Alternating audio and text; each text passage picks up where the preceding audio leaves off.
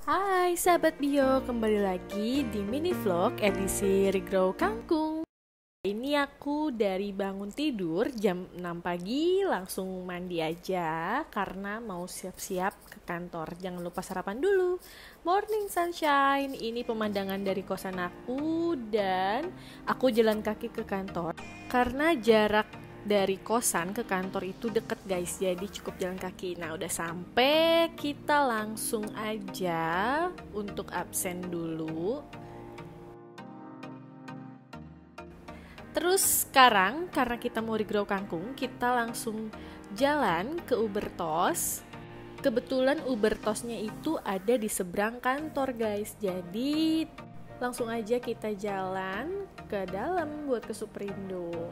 Ya ke Superindo kita mau nyari kangkung pastinya karena kita mau regrow kangkung. Nah jangan lupa cek suhu dulu. Ya kita cari kangkung. Ke mana ya kangkungnya? Kayaknya di sini kangkungnya udah ketemu kangkungnya. Nah untuk beli kangkungnya guys jangan lupa beli yang ada akarnya kayak gini karena kita mau regrow kangkung. Aku beli tiga ikat kangkung. Yeay, kita langsung bayar, kita antri dulu. Nah udah, kita bayar dulu. Oke, udah. Nah langsung aja kita balik lagi ke kantor ini dia bahan dan alat yang kita butuhkan untuk regrow kangkung. Nah, di sini ada media tanam, tanah dan sekam, ada sekup. Nah, terus kita punya kangkung yang tadi kita beli, habis itu ada polybag ada pisau ada pupuk organik biosolta max ada sprayer dan pupuk organik yang sudah dibiangkan gitu. Pertama stepnya adalah kita masukkan media tanamnya ke dalam polybag. Nah ini aku mau buka dulu polybagnya. Masukannya eh, jangan terlalu penuh ya.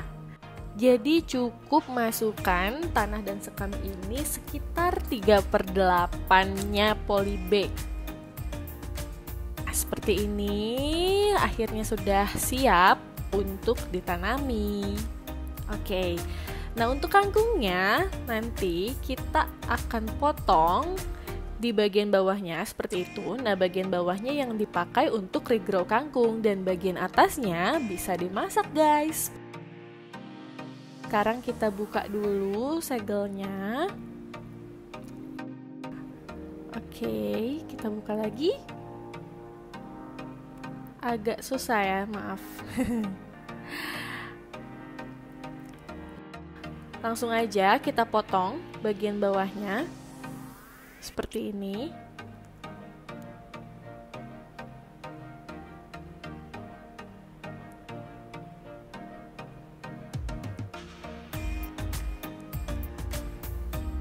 Segitu aja guys potongnya cukup.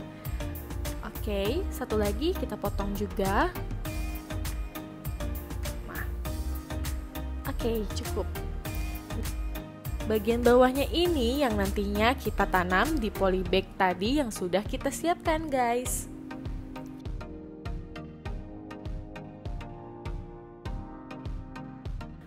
Selanjutnya, kita langsung buat lubang tanam di polybag yang tadi sudah kita siapkan. Lubang tanamnya ya cukup eh, sekitar 5 cm. Oke. Lalu, sehabis kita membuat lubang tanam, langsung aja kita masukkan kangkung yang sudah dipotong tadi ke dalam lubang tanamnya. Seperti ini ya guys. Kita tanam.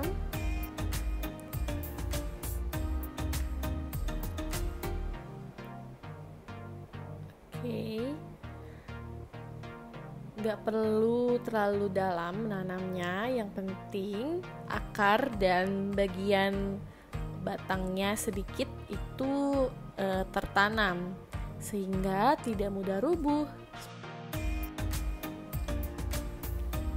Seperti ini. Oke tanam kita rapihkan.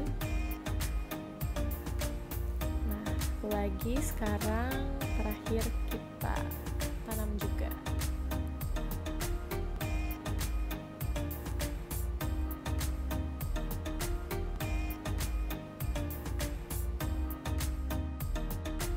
Oke, selanjutnya setelah kita selesai menanam, kita semprot memakai biosaltamax. Ini ada biosaltamax, ada diam biosaltamax,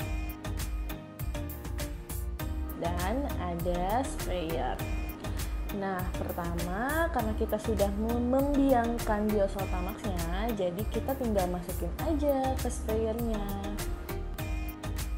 Kita tuang secukupnya aja.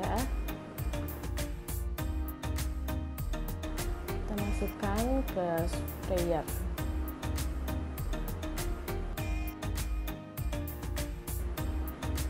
nah kita tutup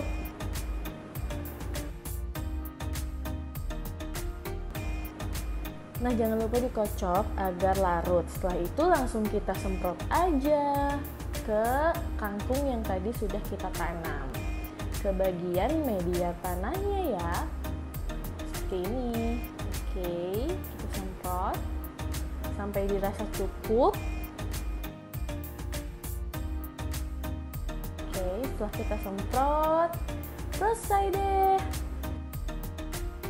Sudah selesai guys, seperti ini regrow kangkungnya. Jangan lupa dicoba dan jangan lupa like dan subscribe. Bye.